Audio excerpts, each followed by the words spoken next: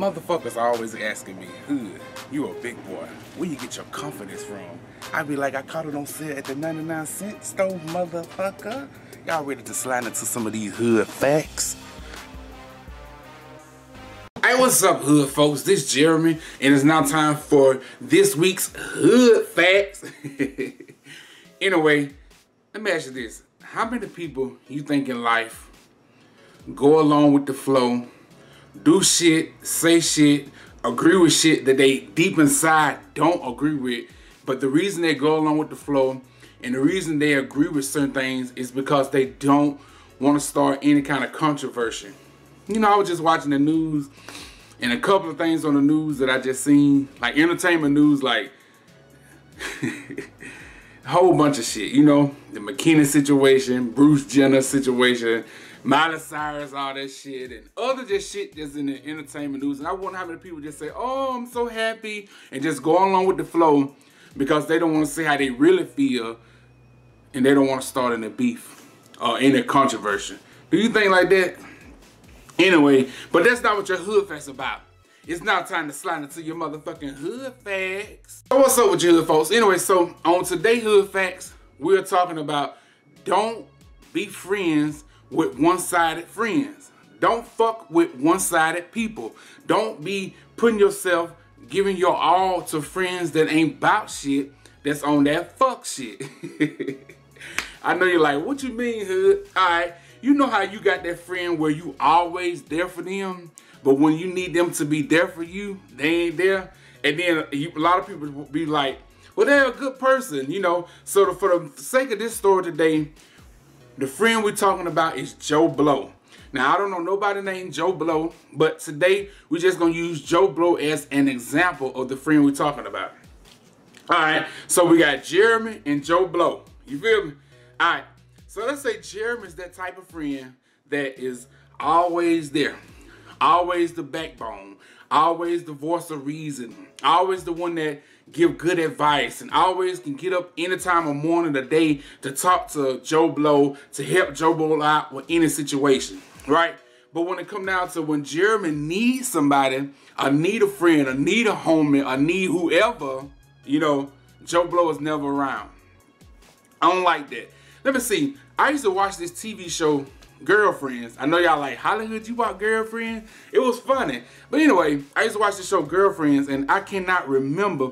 It was a character on the show, and she had some big lips and some big old titties. She was a good looking lady, you know, she was fine as hell, but she, and I mean, I know there was just a character on the show, but, uh, but you know, but she was whack as fuck as a character on the show. I can't think of her name. I don't even feel like Googling her name because, you know, shit, I don't even feel like getting about the couch or this chair going to look for it. But anyway, on the show Girlfriends, there were four different girls on the show. And the other three girls seemed like they catered to this one girl. She was real bougie. She was stuck up. She was snobby. What the fuck is that girl name? Damn what the chick name from Girlfriend with the big old lips and the big titties. And she was dark skinned. Damn, I can't think her name. But by the time you watch this video, her name will be on the screen some fucking will.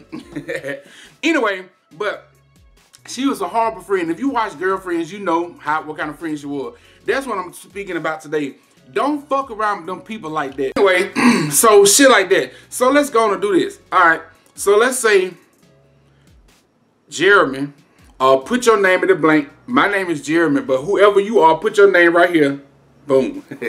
so you could be Susan, Shaniqua, Rhonda, James, Keith, Lamont, Betty, whoever the fuck your name is. So whoever your name is, but in my case is Joe Blow and Jeremy. So Jeremy had a long day at work. Supervisor tripping, co-workers tripping, car tripping, get home, wash machine not working, ain't no dinner in the house. You know, just a whole bunch of stressful shit. So Jeremy picked up the phone and called Joe Blow. Hey man, what's up, Joe Blow? Man, I had a day from hell today. Man, so much stress on me today. So much bullshit going here. One thing going right with me with dead and whatever. And you know, blah blah blah did. So instead of Joe Blow being a friend and listening to Jeremy, Joe Blow starts to interrupt and tell Jeremy about all his problems. Don't fuck with people like that. Don't fuck with people that can't ever take time to listen to you and they want you to always listen to them. Whenever a conversation starts, whatever you make the situation about you and you start the conversation, they don't agree with you or disagree with you. They just take over the conversation and turn everything around and make it about them. Don't fuck with them kind of people. Also, Joe Blow and Jeremy, we cool. Man, let's go out and get some drinks tonight. All right, let's go. Jeremy go pick up, gotta pick up Joe Blow, okay? Jeremy got to go and pay for the drinks. Jeremy got to pay for the food. Jeremy paying to get in the club. Jeremy, like, damn. Jeremy paying for, we go to the mall. Man, I like the earrings. Man, I like that jewelry. I like them shoes. Jeremy paying for this. Don't be that friend that's always paying. Always pulling out their wallet. Always pulling out their credit card, their cash. Don't do that. I don't give a fuck if you a billionaire and Joe Blow ain't got nothing but a job at Wendy's. Fuck that. Sometimes you should have friends that paying, and sometimes friends should contribute. Most time friends should contribute. You feel me? Fuck shit like that. Don't fuck with them one-sided friends. That's what I'm talking about like that.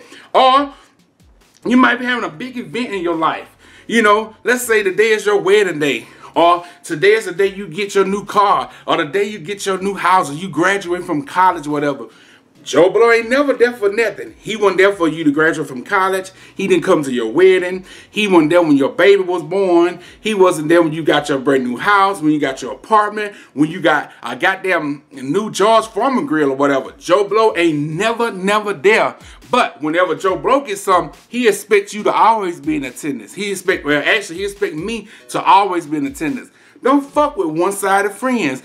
Don't fuck with one-sided friends. That's what your hood facts about. And that don't necessarily have to be your friends. This can be your mama.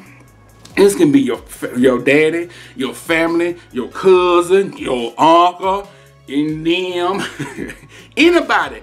Don't be around people that try to be one-sided. One-sided. Everything is about them and they never there for you. Fuck that.